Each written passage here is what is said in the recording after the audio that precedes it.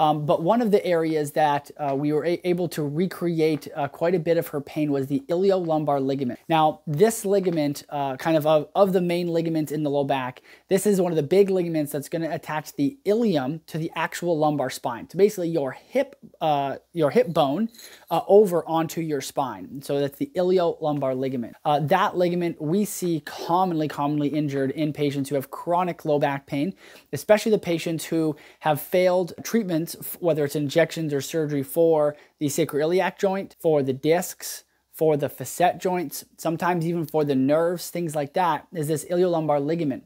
It is in a very specific location, like all ligaments.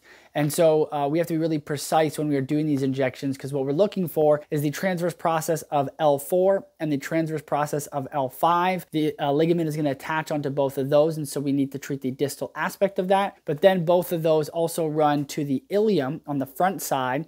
And so we have to come still from the back side, but we have to angle our needle to get into the front side of the ilium.